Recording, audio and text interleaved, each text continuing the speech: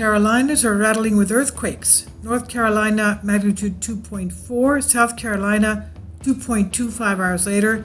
Please keep your eye on the map.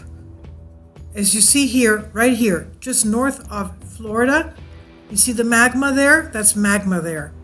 Of course, here the map doesn't show the magma underneath the mid-continental rift, which is straddling the Great Lakes, but let's keep our eye on the Carolinas there. We have magma under there. Let's go see the maps.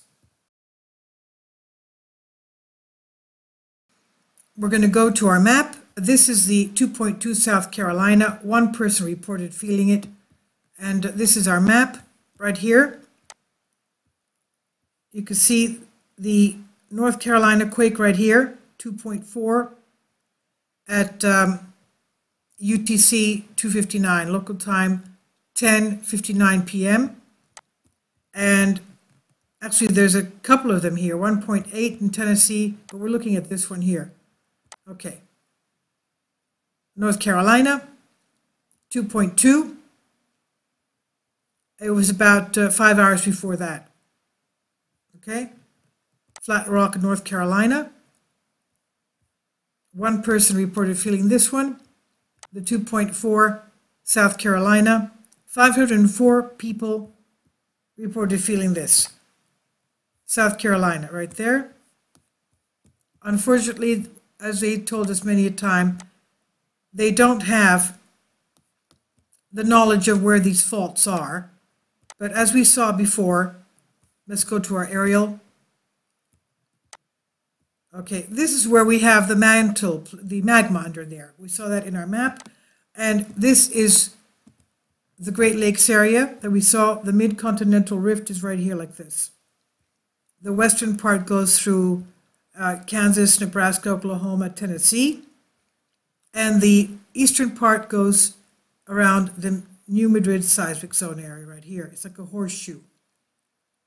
And there's magma under there. They don't know where it's coming from, but they know that they have magma under there. And we have magma under here too.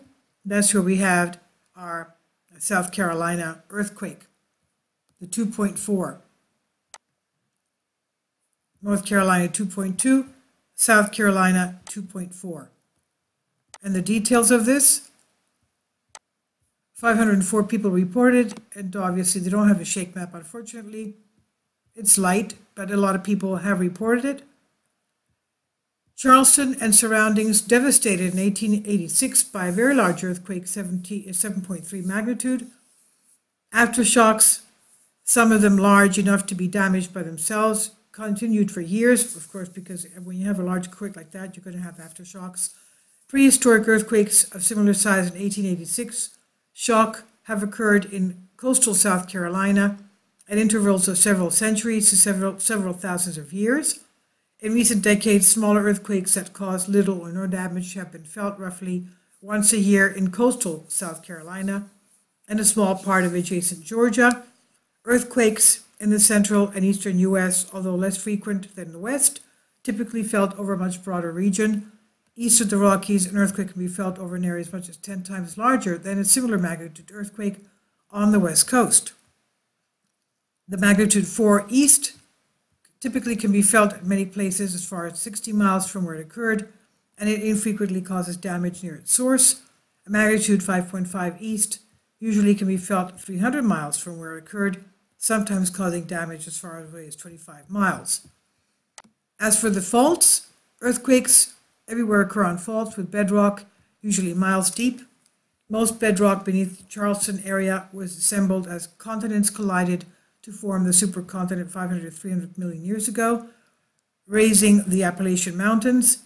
Most of the rest of the bedrock formed when the supercontinent rifted apart, apart 200 million years ago to form what we now know as the southeastern United States, Atlantic Ocean, and Africa. So this is the, um, let's go down to North Carolina. One person reported feeling that.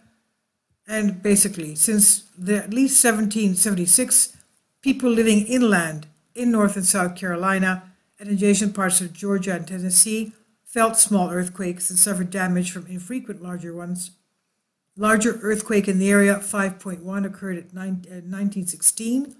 Moderately damaging earthquakes strike inland Carolinas every few decades, and smaller earthquakes felt about once a year or two. Earthquakes in central United States, as we said before, can be felt in a much broader, broader region. East of the Rockies, earthquake can be felt over an area as much as 10 times larger than a similar magnitude earthquake on the west coast. That's because it's softer. The sediment is softer. Okay, so this is what we're having. This is, of course, the New Madrid seismic zone, which is rift. It's a rift valley, the Reelfoot Rift, and we do have an uptick of earthquakes on the New Madrid seismic rift valley, from what the geologists have been telling us. Okay, so uh, we noticed that a couple of days ago. Yesterday we had this.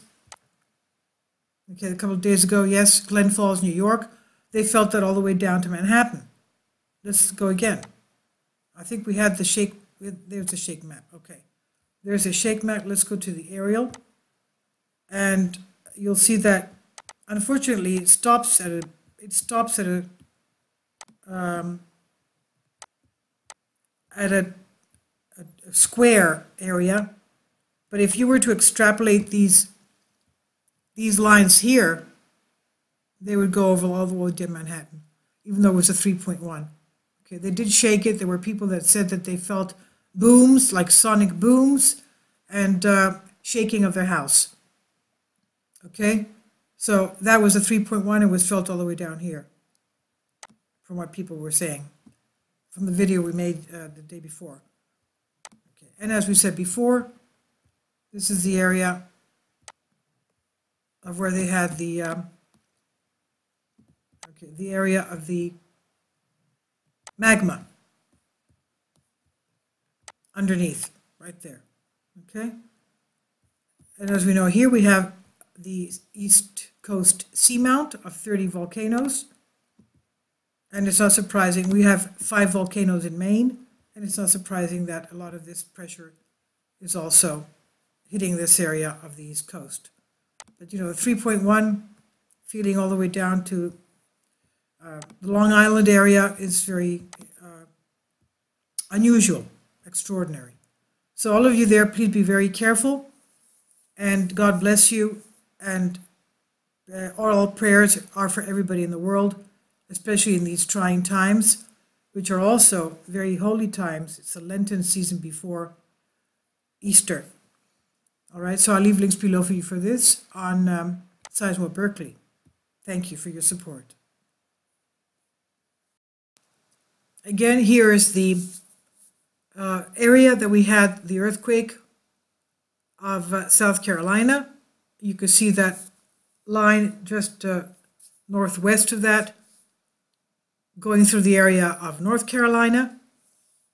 And you can even see the area of upstate New York around the St. Lawrence to the north of that, where we had the earthquake a couple of days ago, 3.1.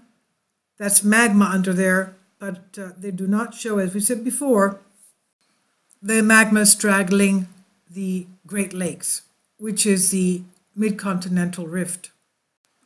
This is what it looks like, basically. But uh, the eastern part goes all the way underneath the New Madrid seismic area as well.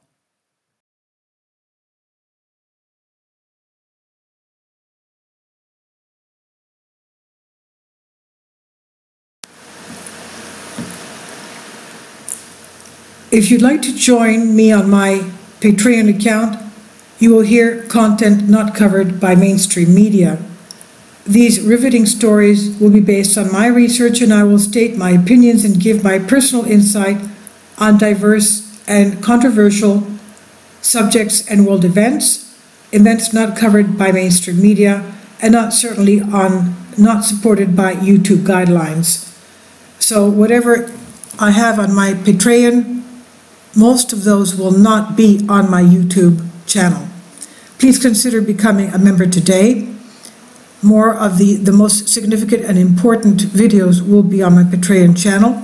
Your support helps me to continue my research and keeps this YouTube channel alive. And we depend on your support, your generous charity, because we help economically challenged families here in Athens, Greece, in Kapota, and we also help the young generation with university tuition and the community around our church. Thank you.